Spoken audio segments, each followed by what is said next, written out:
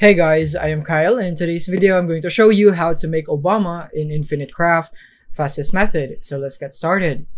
So first is water and then water to create lake and then fire and fire to create volcano, combine them together to create island, add volcano and then put island here, add another island, create that and then add lake, combine US America with Hawaii and now you have Obama.